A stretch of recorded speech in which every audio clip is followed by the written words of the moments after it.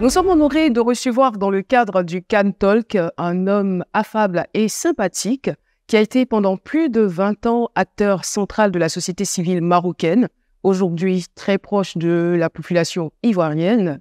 L'ambassadeur Abdelmalek Ketani est notre invité du Can Talk. Excellence, bonsoir. Bonsoir madame. Bienvenue dans le Can Talk. Merci beaucoup. Alors, euh, je suis curieuse de savoir euh, comment est-ce que vous vous sentez à la veille de ce match? Comme tout supporter qui attend le, le premier match de son équipe, euh, bien sûr un peu d'anxiété, mais en même temps beaucoup de confiance. Parce que nous avons une grande équipe, une équipe qui a fait un parcours, comme vous le savez, remarquable au Qatar, qui est composée de joueurs de premier plan au niveau international. Nous avons une équipe bien soudée autour de l'entraîneur Gragui, qui est un entraîneur qui a aussi fait ses preuves et qui est vraiment un, leader d'équipe. Nous avons la Fédération royale marocaine de football qui a aussi fait un travail formidable en, préparant, pour préparer cette équipe. Et aujourd'hui, je pense que toutes les conditions sont réunies pour que nous fassions une canne euh, historique. Waouh Très bien, je, vois que vous avez une très très bonne culture euh, dans le domaine et ça doit rassurer euh, vos populations, n'est-ce pas? Alors, comment jugez-vous euh, l'organisation de cette 34e édition? Alors, tout d'abord, j'aimerais féliciter les autorités ivoiriennes pour la formidable cérémonie d'ouverture à laquelle j'ai eu le plaisir et l'honneur d'assister euh, samedi dernier.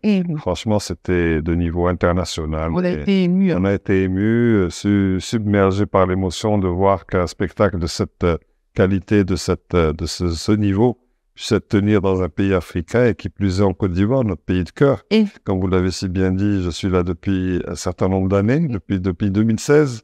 Donc je connais bien la Côte d'Ivoire, je suis très proche des, des Ivoiriens que j'aime beaucoup. Donc euh, ça devrait bien se passer, il n'y a pas de raison, la sécurité est assurée, tout, tout est en place pour qu'on ait encore une fois une canne d'exception, la canne de l'hospitalité. Parlons des supporters euh, marocains, est-ce que la délégation marocaine présente en ce moment euh, en Côte d'Ivoire et dans de bonnes conditions Absolument parfaite. Nous sommes euh, dans un hôtel qu'on a privatisé ici. Ça se passe très bien. Les joueurs sont contents, le staff, les encadrants, tout le monde est ravi de leur séjour ici. Et donc, ils sont préparés depuis le 7, décembre, 7 janvier. Ils sont arrivés le 7 janvier. Et sont, hein. ah depuis 10 jours, ils se préparent, s'acclimatent au, au temps euh, ivoirien parce qu'ils ne sont pas habitués à l'humidité et à la chaleur. Mais je pense que là, ils sont parfaitement acclimatés. Pas plus tard que tout à l'heure, j'étais avec eux à la séance d'entraînement avant le match de demain. Et euh, on espère effectivement qu'ils seront au rendez-vous et nous sommes très confiants. Super. Alors, quelles sont les dispositions prises pour garantir un soutien maximal aux Lions de l'Atlas? Alors, on a déjà la communauté marocaine qui est importante à Abidjan. Nous sommes plus de 8000. Donc, il y a quelques milliers qui vont faire le déplacement, j'imagine, à San Pedro demain. Donc, mmh. la ville demain sera pleine de, sera marocaine, certainement, parce que les Tanzaniens, c'est un peu plus loin. Mais nous, on est une grande communauté déjà ici, et on a beaucoup de gens qui sont arrivés dans les vols réguliers de la Royal Air Maroc, qui pour l'instant sont des vols réguliers. Mais je pense que si on, devait arriver aux phases finales, effectivement, il y aura des charters, il y aura des promotions pour faire venir encore plus de Marocains pour soutenir les Lions de la place dans les phases finales, si bien sûr d'aventure nous étions qualifiés, chose dont nous doutons. Alors, sachant que le Maroc a remporté sa première coupe, sa première canne en 1976, est-ce que vous espérez vraiment avoir votre deuxième étoile en Côte d'Ivoire? Ah, toutes les conditions sont réunies. Nous avons, comme je l'ai dit tout à l'heure, une équipe de premier plan, des joueurs internationaux qui valent des millions et des millions d'euros.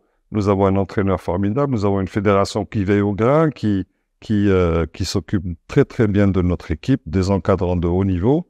Et il n'y a aucune raison pour que ça ne se passe pas comme on le souhaite. Bien évidemment, le football reste le football. Ça peut se jouer un pénalty à la dernière minute ou quoi que ce soit. En tout cas, euh, nous sommes confiants. Nous sommes euh, très déterminés à aller le plus loin possible dans cette canne, tout en restant humble malgré le résultat du Qatar. eh bien, nous aussi, hein, on espère remporter cette canne. D'ailleurs, mais pour ceux qui l'opération, la coupe reste ici. Il faut absolument que cette coupe reste ici. Eh ben, Franchement, ça sera aussi la victoire des 8000 Marocains voilà.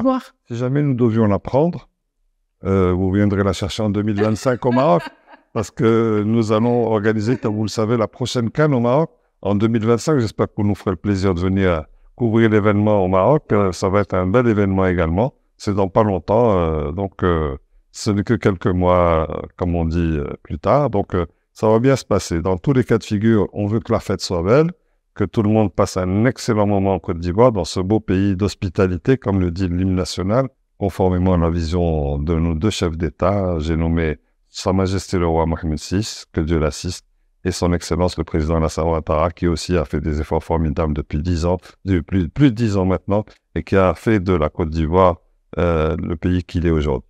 Merci beaucoup.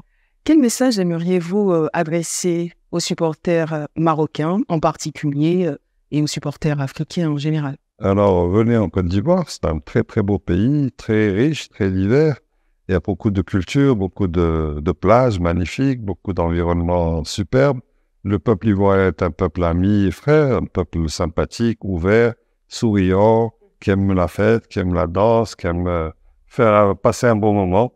Et je dis à mes supporters marocains de venir euh, s'imprégner un peu de la culture ivoirienne, profiter de ce que peut offrir ce pays. Et ça sera peut-être l'occasion de découvrir l'Afrique subsaharienne pour beaucoup, parce que beaucoup ne connaissent pas malheureusement l'Afrique subsaharienne. C'est l'occasion de euh, venir en Côte d'Ivoire découvrir ce beau pays que j'adore.